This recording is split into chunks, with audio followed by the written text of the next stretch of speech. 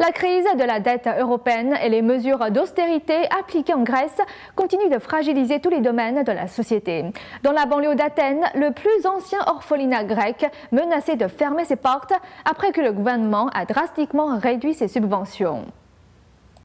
En Grèce, dans la banlieue d'Athènes, cette grande école accueille des orphelins et des enfants nécessitant un encadrement et un enseignement spéciaux. L'institution Pamakaritos repose désormais sur des dons, après que le gouvernement grec ait largement réduit ses subventions en raison de la crise. La sécurité sociale a suspendu ses paiements depuis octobre 2011, soit un total de près de 500 000 euros d'aides non versées.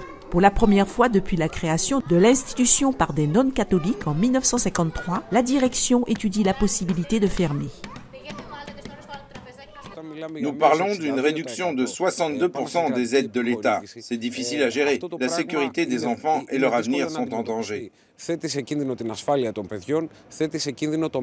L'institution est la plus grande du pays. Elle accueille en moyenne 130 enfants et adultes handicapés mentaux âgés de 3 à 50 ans, ainsi que 25 orphelins. L'institution propose aussi les services d'une crèche, d'une école maternelle et de classes spécialisées pour adultes. En cas de fermeture, tous ces enfants et adultes seraient forcés de rester chez eux ou envoyés dans des instituts psychiatriques. Moi, je suis bien ici. Tout le monde est gentil. Anna et moi, on est bien ici. Dehors, les gens sont gentils ou méchants. Je ne connais pas la différence.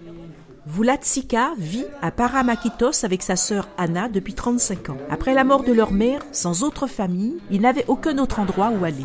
Le gouvernement grec risque de réduire encore ses subventions. L'institution ne peut cependant pas réduire davantage son budget ou le nombre d'employés sans nuire aux soins apportés à ses pensionnaires. Nous ne demandons pas la charité, mais c'est notre obligation au sein d'un pays civilisé de soutenir ce genre d'institution. L'institution compte sur son potager pour nourrir les enfants. Des oranges, des pommes de terre, des brocolis, des laitues, des champignons, des herbes et autres fruits y sont cultivés. Pour le reste, les employés et les enfants comptent sur les dons généreux de bonnes âmes. La crise a également affecté les parents des enfants et certains ont littéralement abandonné leurs enfants.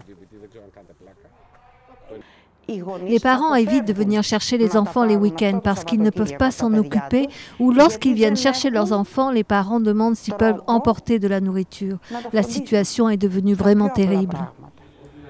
Le salaire des 55 employés a dû être réduit. Certains n'ont plus été payés depuis septembre dernier. Malgré tout, ils continuent à donner toute leur vie pour les enfants. Vous vous imaginez, nous ne sommes plus payés depuis 4 ou 5 mois. C'est très difficile, cela influence notre vie de tous les jours et nos vies personnelles.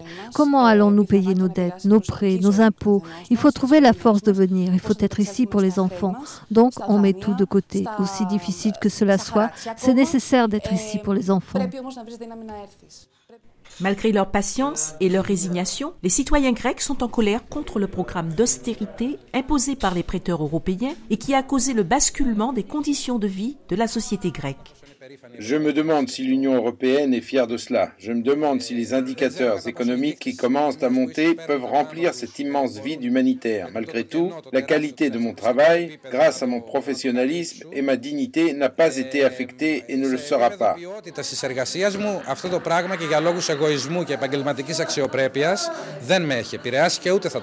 Pamarakitos continue d'espérer qu'une autre grande mission caritative puisse intervenir en leur faveur, assurer la continuité de leur travail et sauver la vie de tous leurs pensionnaires.